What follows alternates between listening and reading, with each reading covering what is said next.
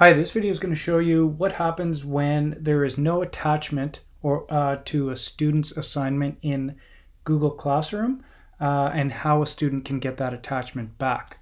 So I'm signed into Google here as a teacher and I'm just going to go to Google Classroom and I'm going to open up my class and I'm going to go to an assignment here. So I have one here called Volcano Study and I can see it's been assigned to six students so I'm going to click on it and when I do so, I can see that these first five students all have a Google Doc attached to their assignment for them.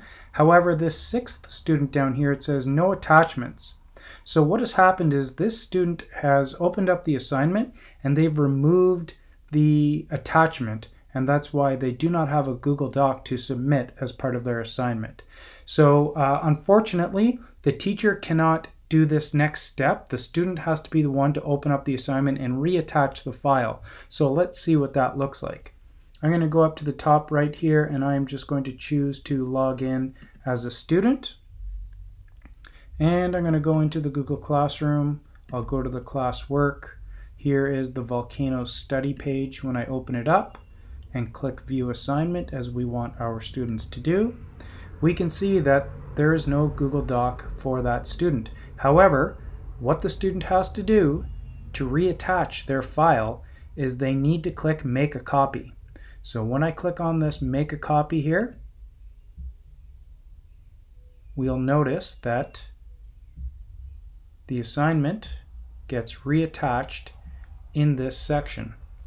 So there it is there, it's now reattached.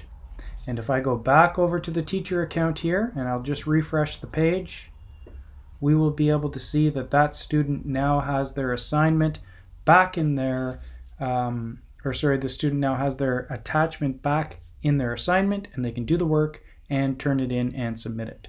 So I hope this video showed you how a student can reattach an assignment that has been removed or deleted. As always, if you have any questions, please feel free to reach out to one of your TELT-Cs. TELT-C list at rcdsb.on.ca. Thank you.